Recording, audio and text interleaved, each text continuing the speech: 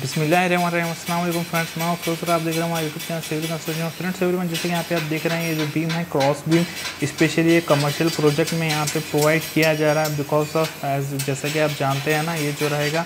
strength purpose अच्छा रहेगा और लोड बेरिंग के हिसाब से अच्छा रहेगा लोड पर्पज़ चैनल पर नहीं आया तो प्लीज़ चैनल को सब्सक्राइब